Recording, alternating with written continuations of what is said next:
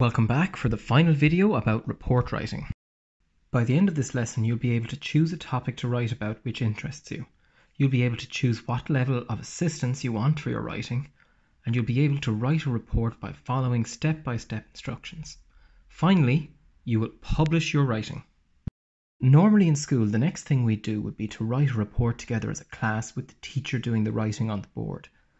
Then we would write them on our own with some help, and then finally with no help at all. For this lesson, we will use these to choose your own difficulty. If you're not confident yet, you could do shared writing with an adult holding the pencil.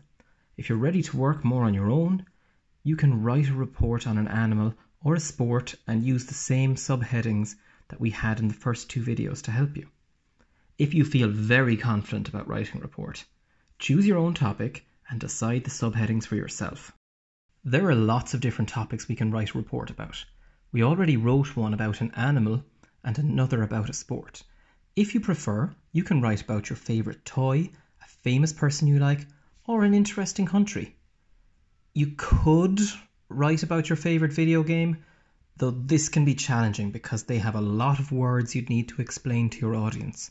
There's also an awful lot of detail with video games. Mario, for example, has appeared in over 200 games, so it might be difficult to write a short report about him. You can use this template to help you. I'll leave a link in the description. Give your report a simple title. It could be called Rugby, or All About Lions, or South Africa.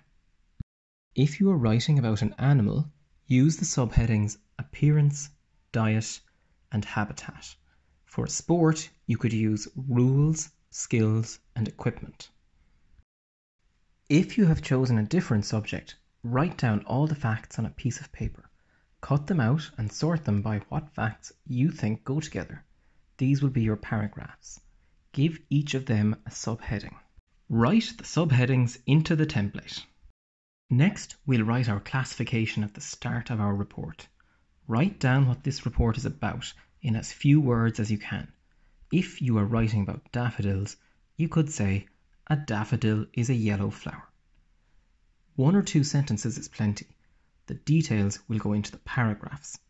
If you haven't done so yet, write down a few short words to decide what facts will go into each of your paragraphs. This is a good example of someone planning a report on bats. After that, we can write those facts into paragraphs as sentences. Write in the present tense Make sure to keep it impersonal by not mentioning yourself and not including any opinions. Read over your report three times when it's done and check if there's anything you want to change or any little mistakes to fix. Add a picture or a diagram to help the reader. Well done on completing your report. Show what you wrote to your teacher or another adult and ask, does it tick these boxes? If you thought writing a report with a template and some guidance from the video was a little bit easy, try to write one by yourself next time. The final step is to publish your writing. Put your report somewhere people can read it. It could be the school blog, Seesaw, could be the wall of the classroom, or even just on your fridge. You've done fantastic work. Now it's time to turn off the screens and have a break.